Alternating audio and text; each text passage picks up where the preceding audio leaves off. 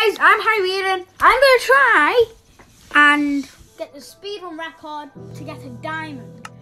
Pre- previous speed run, um, speed run record is 40 seconds. I may or may not have beat it. Let's watch the clip. It took me about 15 tries to do because I kept mistaking. So, yes, this is a voiceover because I have to time it and I don't have a timer. There's randomly on there. But let's look through. Let's go. So the video is quite straightforward, really. I set off the timer. I begin. This is one of my favourite seeds.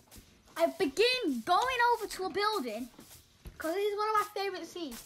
It has got four blacksmiths in one world. So this is my favourite seed. I go up and I'll just let you watch the rest, really. I did it in 20